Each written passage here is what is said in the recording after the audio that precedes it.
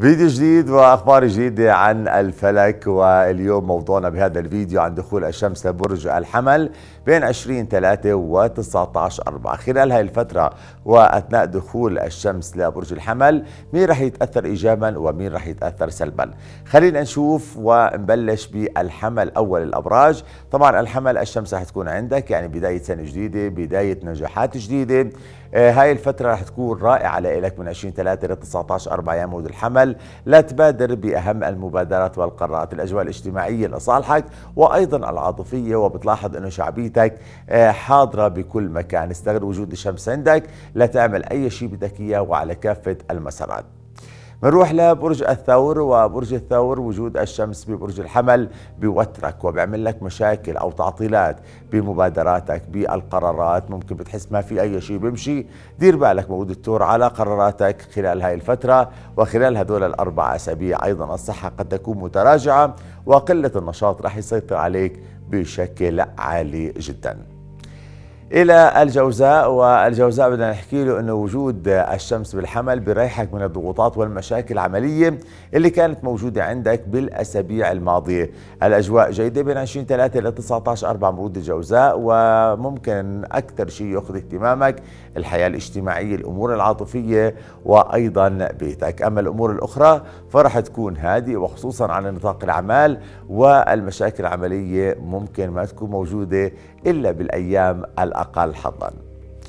بالنسبة لبرج السرطان بدك تنتبه يا مولود برج السرطان وجود الشمس ببرج الحمل يعني ببيت العمل ممكن بوترك عمليا وبيجلب لك بعض المشاكل العملية ولكن من ناحية أخرى ممكن يكون في هنالك فرص عملية يعني الأولوية للعمل يا مولود السرطان بين 20 3 إلى 19 4 حاول أنك تنتبه بقراراتك حاول أنك تزيد دبلوماسيتك شوي لأن دبلوماسيتك رح تكون مفقودة خلال هاي الفترة. النشاط رح يكون قليل. قليل وأيضا الحياة الاجتماعيه رح تكون ممكن صفر أو غير موجودة.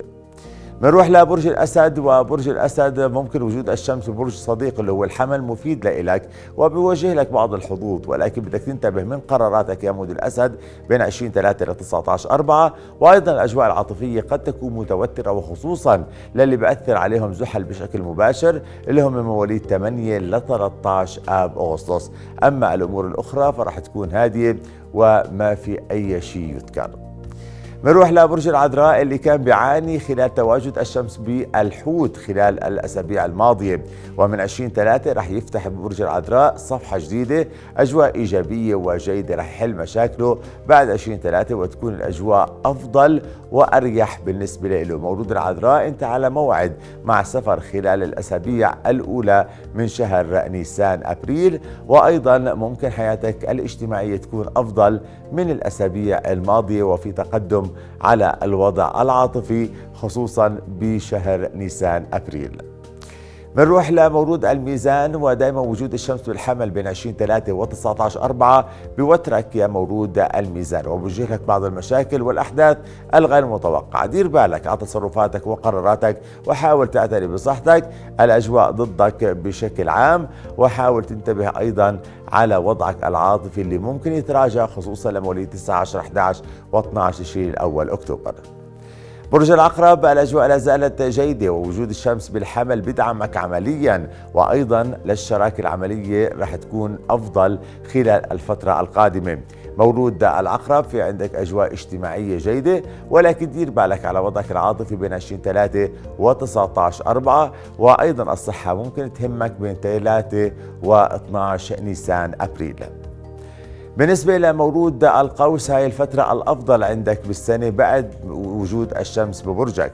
فمن 20 3 ل 19 4 وجود الشمس بالحمل اللي هو برج صديق لإلك يا مولود القوس. بدعمك على كافة الجبهات وبعطيك الحظ والأمور الجيدة. حاول تستغل هاي الفترة لصالحك بأي مبادرة وبأي قرار وممكن يكون في عندك فرصة للسفر.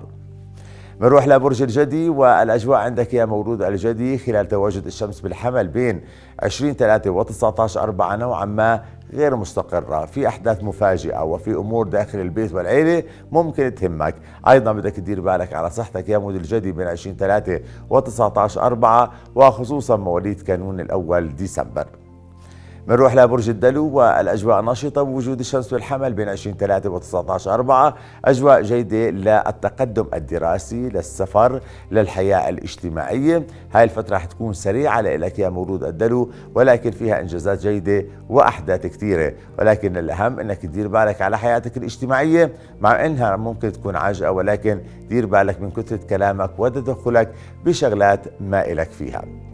أخيرا برج الحوت وجود الشمس بالحمل يا حوت ممكن هيك ترجعك لورا أو تقلل نشاطك نوعا ما. حاول تدير بالك على شغلك هذا أهم شيء. وأيضا المصاريف المالية أو المال بين قوسين راح يهمك بشكل كثير كبير لأنه راح يكون في خروج لكميات كبيرة من المال من جيبك بالإضافة لدخول مبلغ كمان مالي لجيبك يا مولود الحوت. ولكن الأهم إنك تبتعد عن الكسل وتركز على العمل هذا أهم شيء.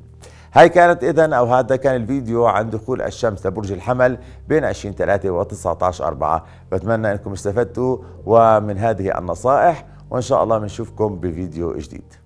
ما تنسوا تعملوا like share subscribe وتشغلوا جرس التنبيهات لمزاج FM. إحنا يا مزاج.